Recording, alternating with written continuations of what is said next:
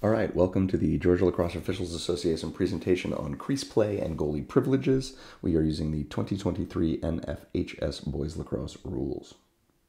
So, goalie play is an integral part of, of lacrosse. Um, goalies are sort of a special breed. They have a really impressive skill set.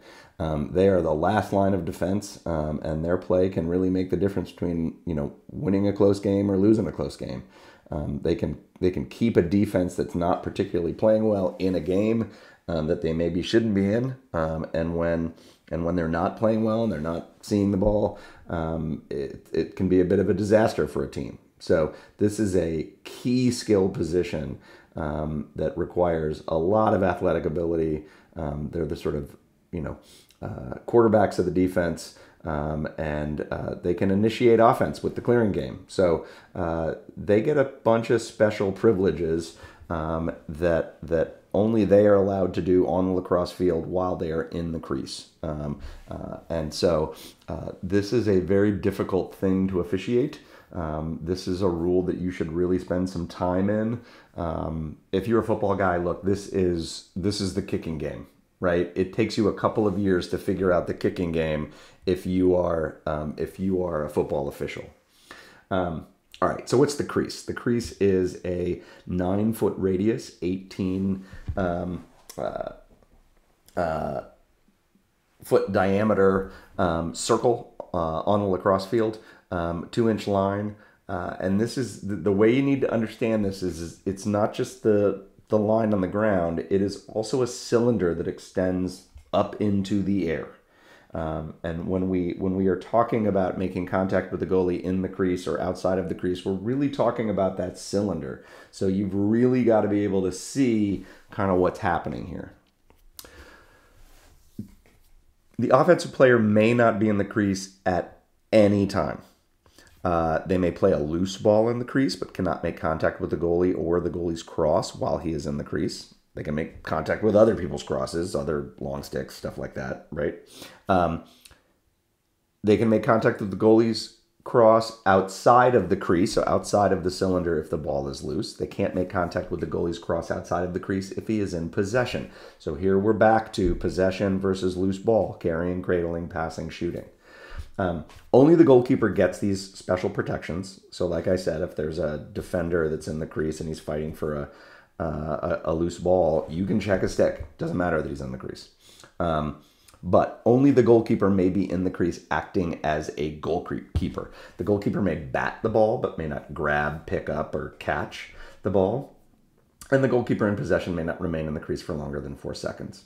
Uh, player in possession may not enter the crease, including the goalkeeper, again, while they're in possession. And we'll go through each of these a little bit um, later. So, properly equipped goalkeeper. Um, you cannot play a game unless you have a properly equipped goalkeeper. And that means the goalie has a throat guard, chest protector, goalkeeper cross, cup, mouthpiece, and gloves. If you don't have any one of those things, we're not playing the game right? Uh, it doesn't matter that little Billy's on his way and he's almost here, so we're just gonna, you know, shove a glove down Steve's pants here, and you know, we're gonna get, get him a bunch of sweat. No, th- this is not what we do. Uh, goalies are allowed to wear football pants with or without pads. They can wear shin guards. They can wear arm pads. Um, but you, again, you cannot play uh, unless there's a properly equipped goalkeeper, and only the goalkeeper gets privileges right? Big exception goalkeeper can play with his free hand, they can bat the ball away. Um, they cannot, however, um, catch the ball or pick the ball up and put it in their stick, right? So a lot of this revolves around whether or not the goalie is in possession, but it also uh, has to do with whether or not they're in the crease. The goalie is considered in the crease when any part of his body is touching the crease. And just like we talked about with an airborne player, he's in the crease until he fully establishes himself out of the crease, right? So he's out of the crease when he's no longer making contact with the crease and makes contact with anything outside of the crease. It's essential to know uh, this bit of information, right? And the goalie outside of the crease is treated like any other field player. They do not have any special privileges, um, uh, except for the five seconds to return um, to the goal if play gets restarted, right? Um, so looking at this, you know, back foot of this goalie here, um, you got to be in a really good position to, to, to determine that he's not in the crease. Um, uh, I would not be that good. Uh, my, my, assumption here is that this this player is in the crease. So um, one of the things about the crease is a defensive player in possession of the ball may not enter the crease. So here the goalie has possession of the ball, carrying, cradling, passing, shooting, um, and they're going to run in and through the crease. This is an in and out violation. You simply are going to award the ball to team A uh, laterally from the goal in the alley. So here's an example. Um, this red defender is going to pick the ball up and he's going to slam it down in the crease um, to give it to his goalie. Basically, the goalie is going to be the only one who'll be able to get it. Um, however, as he does this, he steps on the, the blue line, which puts him in the crease. So this is an in and out violation. Think of our airborne player rules specifically when we talk about the goalie, right? Rule 4 5, Article 10, right? The goalie jumps up and catches the ball in midair from outside of the crease and he lands in the crease. He's going from outside to in. That's in and out. That's a violation. If he's inside the crease and lands in the crease, this is a legal play. If he's in the crease and lands outside of the crease, that's a legal play. If he's outside of the crease and simultaneously lands both in the crease and out of the crease, he has not fully reestablished himself outside of the crease. So this is again a legal play.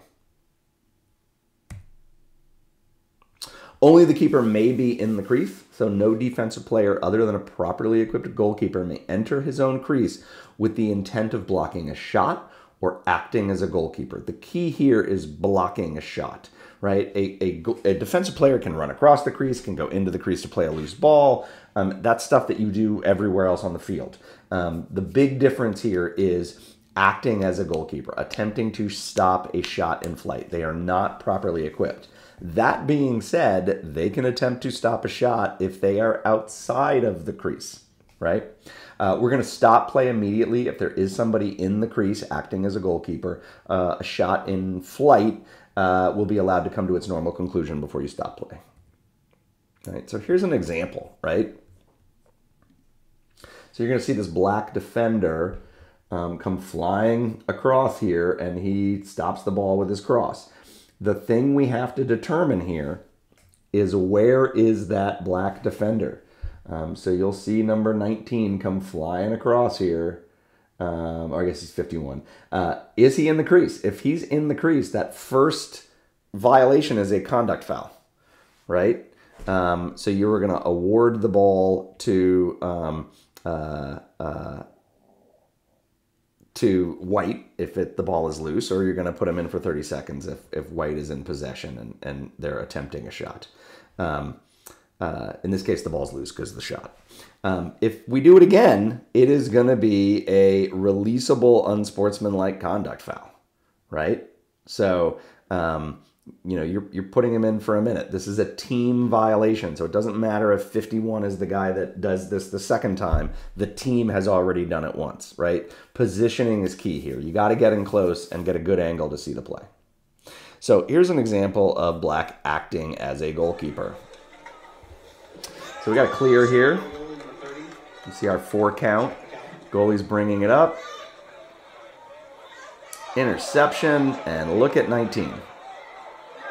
He is clearly acting as a goalkeeper, right? This ball should be awarded to, to well, we should have a flag down.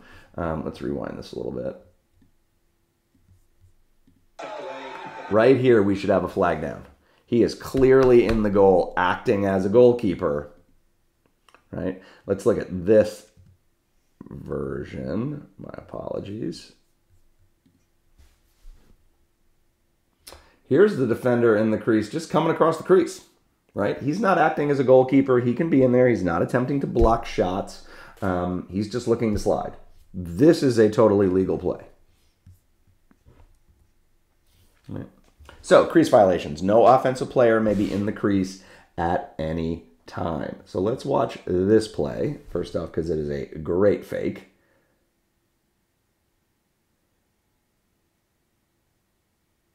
But look how close we are to being in the crease. Now, can you be 40 yards away and make that call? No. You got to be crashing in and really see this play um, in order for you to make that make that call. All right, goalie interference. Um, opposing players cannot make contact with the goalie or his cross inside the crease or outside of the cylinder when the goalie in the crease is in possession of the ball right? Um, it's not a time serving penalty, even if in possession, right? So this is the big exception to technical fouls. Um, interference with possession is a free clear. Interference that's loose, um, you simply award the ball to the defense, or if they manage to keep the ball, it's to play on and they continue playing, right? So again, possession, right? Uh, possession is the key thing here. Carrying, cradling, passing, or shooting. Possession determines when the 20 and 4 second count begin. We've talked about that in our counts video. Um, but it also determines whether interference is a restart in the defensive end or a free clear. You got to know where we are and, and who's got possession of the ball or if it's loose. So I've created this handy chart for you. You can download a copy of this or take a screenshot um, and uh, use this to help you study. Um, it shows you where we are, who's got possession, and what we do. Uh, key things here. Um, if the ball is loose outside the crease and contact is within five yards of a loose ball, right? This this is legal, right? Um, the only weird one is going to be if the clearing team has possession of the ball. Um, so let's say the goalie is clearing the ball and he's not in the crease, and the riding team enters the crease. You're going to have a flag down, slow whistle right?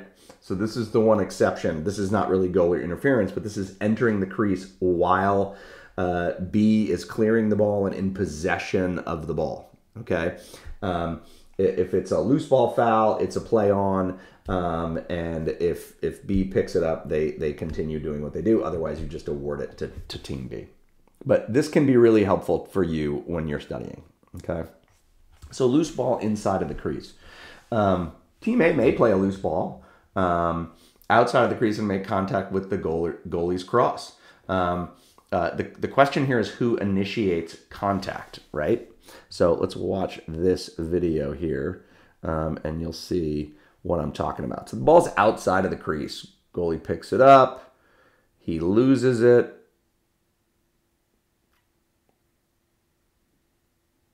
Right? Now, this could both be a slash on the goalkeeper, okay? Um, but let's say we're not going to call this a slash. Um, the goalie's not getting bailed out of this by having this be interference because he is the one clearly initiating contact um, with what's going on here, right? So goalie's in the crease, ball's loose in, in the crease, and and you know, goalie initiates contact. This is not goalie interference by any stretch of the imagination. Um, loose ball outside of the crease or even in the crease. If the goalie is clamping the ball, he has got his stick on it. Um, he is not in possession. So if he's outside of the crease, players can check his stick as long as it's outside of the cylinder. Um, if the goalkeeper gains possession, um, you just continue playing, right? Um, uh, but clamping is not possession. If he's in possession of the ball um, and the ball's outside of the crease, um, that's going to be interference. Okay, so again, positioning is everything. You've got to be close. You've got to see what's happening. Um, there's a lot of sticks, a lot of bodies, and you got to know what's going on. Um, so interference with possession. Here is the classic example of the goalie's got the ball here. He is making an outlet pass, um, and um, you know, he's gonna he's gonna throw the ball to his teammate. Right? If this is a um, if this is a, uh, a, a restart, right? We've got a sixty playing the goalie here, um, but we we we have contact on the follow through here. That's the key thing. It doesn't matter that the ball is out of his stick and then there's contact. So you can see here, right? So the goalie has thrown the ball. Ball's out of his cross. It doesn't matter. We have follow through and then we make contact with the player's cross. So we'll see it again here.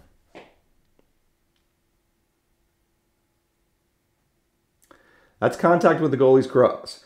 while he is in the cylinder with possession, um, he's awarded a free clear.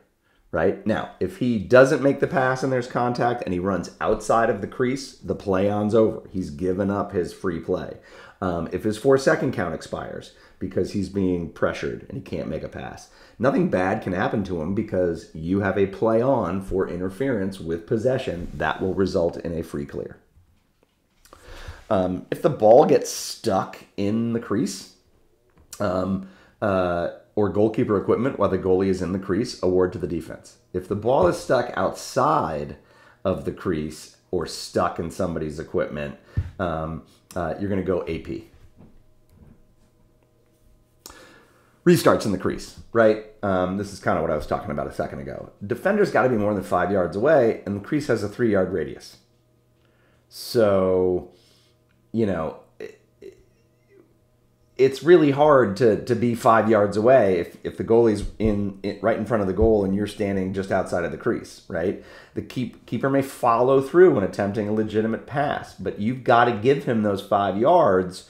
Um, so this could be this could be a flag down slow whistle if somebody's even putting their stick up like this to, to defend against him because you're not allowed to defend him unless you've given up that five yards. So, um, right, what are we going to do here, right? So, ball's loose. We've got interference. We're going to award it to the goalkeeper. You may want to make, you know, we don't use the loose ball signal a lot, but this is one of those situations where you want to give the loose ball signal. So, you're going to point to the ground. You're going to say, ball was loose, interference. We're going to award it to the defense here, right? You're, you're making everybody know this is not a free clear situation. Now, if the ball is in possession, right? We just give the interference signal, and then you give the first down signal to say basically, hey, we're giving this a free clear, and they're going to start it one step over the midline. Right? So again, the clearing pass is not a license to foul. Um, uh, you know, if they make that clearing pass, it's a play on. Allow the pass to come to completion. Um, if the ball bounces on the ground and it looks like the the clearing team's going to pick it up and continue their fast break, just let them do that. Um, but once they lose their advantage, kill the play, give them the free clear, right? Um, this can lead to a lot of really big, you know, offensive, um, uh, uh, you know, sparks here, right? So let's watch this little sequence of event here. We've got Cornell and Maryland um, in the NCAA championships first round game. All right, so we've got the ISO here right? Dumps, shot, goalie makes a save, makes a great outlet pass, you know. And here we got we got we got numbers. Long pole takes a shot. Goalies are not necessarily used to seeing a lot of long poles shoot, um, and this is a this is a big time goal, right? You go from an offensive possession for red to a goal by white because of that outlet pass. Now, if you're going to make an outlet pass, it's got to be a legal outlet pass, a legitimate attempt to pass. This is not a legitimate attempt to pass the ball. This is a multi minute slash to the head possible ejection. Right? So, what do you do when you have a penalty on the goalie? The goalie serves his penalty. You do the crime, you do the time. Um, the in home does not serve in a, in a NFHS game. Okay, uh, you will allow one minute for the new goalie to warm up. Um, uh, they may have to swap equipment if they've only got one set of goalie equipment, but you're putting a new goalie in the in the crease. If they need more than a minute um, to warm them up, you know they, they can call a timeout. Um, if uh, uh you know if they really got to switch equipment, you can't play the game without without a, a, legally equipped goalie, so you may want to be a little lenient there. Um, in youth leagues, you may see rules where there really is only one goalie on the team. And so uh, double check when you're doing a youth game to see whether or not the goalie actually serves the time. Um, but in a high school game, the goalie is going to serve their penalty. So throwing the cross, um, remember we've talked about this with technical fouls, um, throwing a cross, um, just sort of off the field, not necessarily at somebody, the ball or a game personnel, is just a technical foul. Uh, don't be too good. Um, but you know, throwing a cross at the ball in order to prevent it from going in the net is a different story. And so here's the MCLA semifinals from 2022. Officials come together. So we got a broken clear. Picked off coming the other direction. Wow. And the goalkeeper throws his cross. I believe that's a flag. And we'll see what the call is here. Smart play. Yeah, he gets gonna get the flag down here, but that one was absolutely going in the goal. All right, guys. Thank you so much for listening. Um, again, I'm Greg, Greg Height with GLOA um, and a USA lacrosse clinician. Um, if you find any mistakes um, or uh, have suggestions, please let me know. My information's right here, and these presentations can be found on our YouTube channel and galactref.com. Thanks so much.